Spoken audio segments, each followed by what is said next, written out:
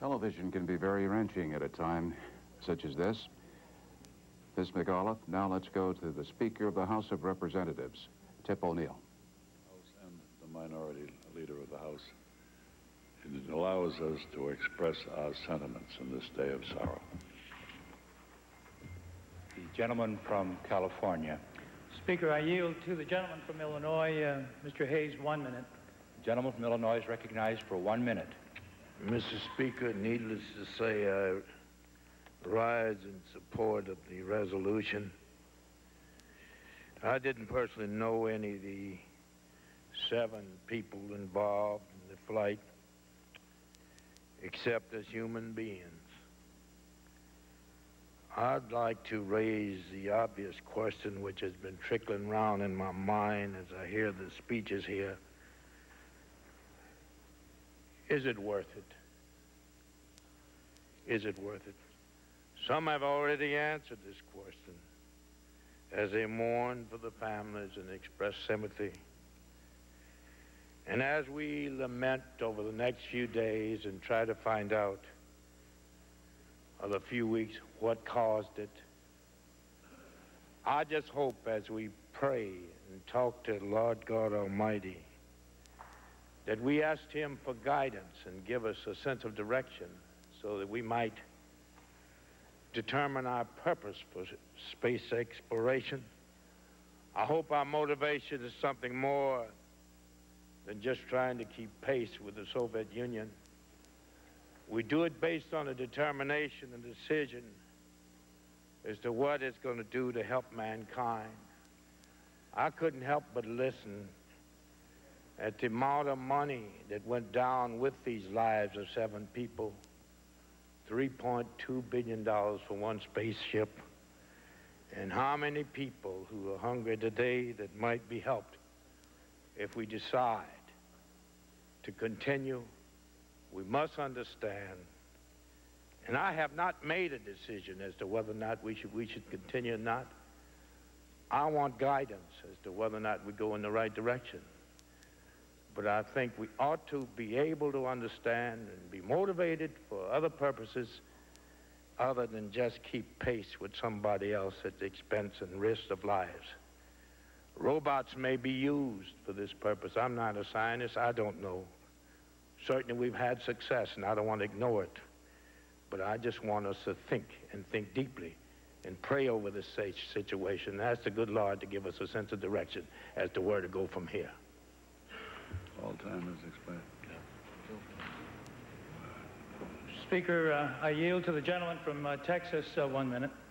Yeah. Thank the gentleman. Mr. Speaker and my colleagues, uh, I join the rest of my colleagues today on behalf of my constituency to extend The previous speaker, Charles the Hayes of. Illinois, indicating some of the soul searching that has already begun in Congress. Each member of the House of Representatives, virtually each, those who are on Capitol Hill right now, each is taking a turn to come up and express himself, herself publicly. And we got in at the end of House Speaker Tip O'Neill's remarks. We're going to be replaying those for you, but we wanted to uh, see and hear the report on uh, Ms. McAuliffe.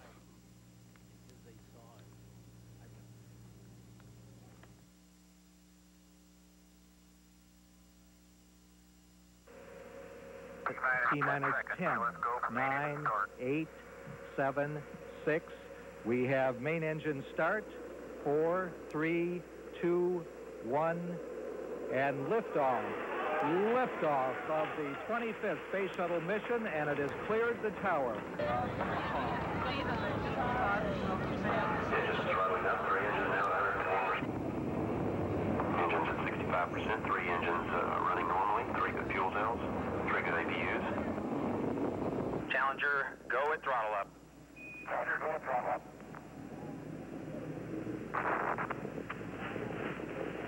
One minute, 15 seconds, velocity 2,900 feet per second, altitude.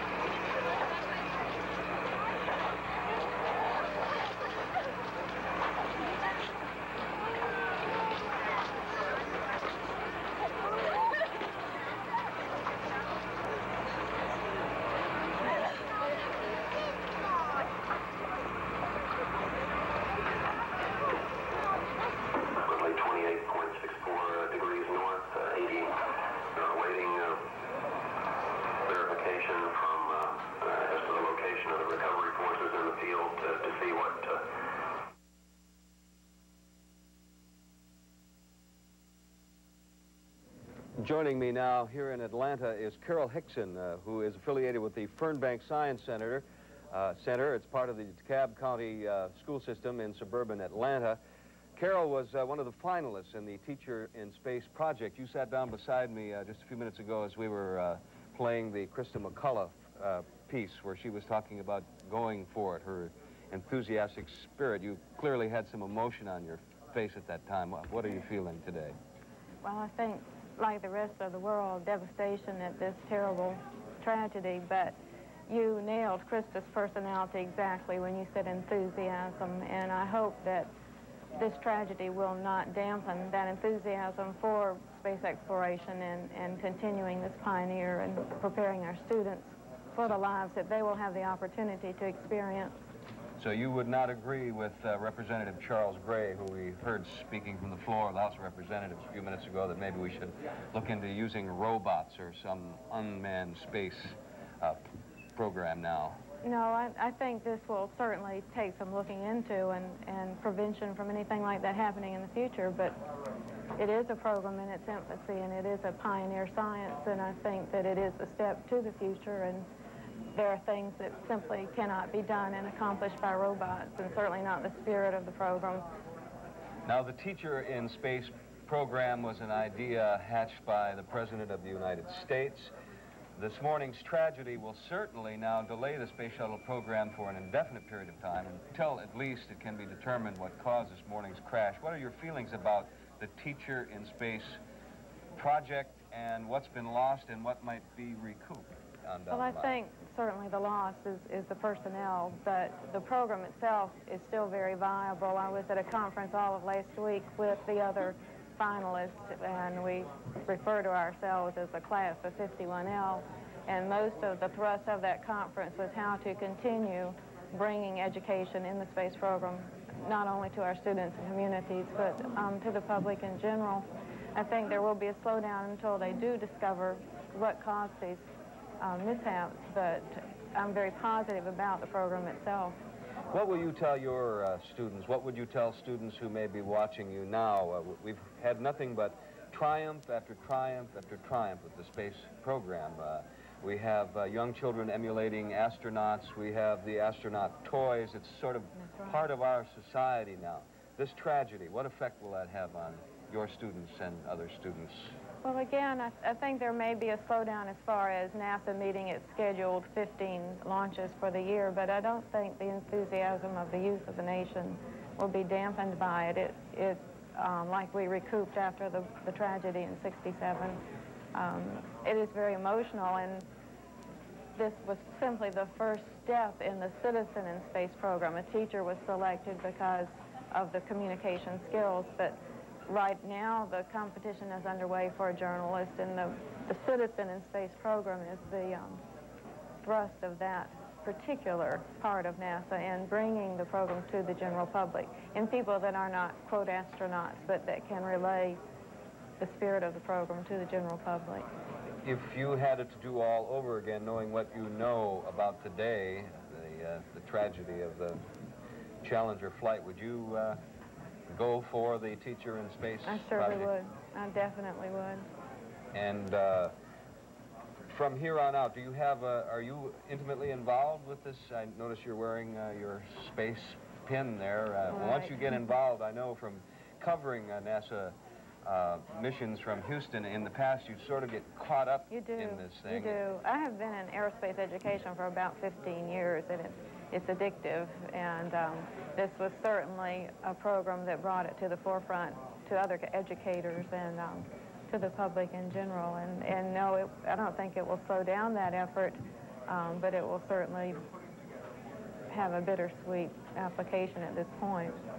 Senator John Glenn said this morning that it had to happen. It was an inevitability that sooner or later a crew would be lost, and that has been substantiated by other uh, guests we've had on uh, CNN throughout the morning and early afternoon. Uh, does uh, what is your reaction to that? Well, I, when I applied, I, I, heard that same thing. You know, that it's really a new system of transportation. You know something will happen someday, but Um, They did- they did warn you? Well, not, not NASA in particular, but just people. You know, Right, saying when you say I've applied for this position, but um, I mean, it's sort of like taking a trip. You know, there's always that risk, and I think NASA's very thorough, and I, I believe they're meticulous in details, and they hold and hold and hold until they think it's perfect, and I feel it's as safe as any other mode of transportation, and certainly worth the effort to learn what we can as far as working and using space in a beneficial way for all of mankind.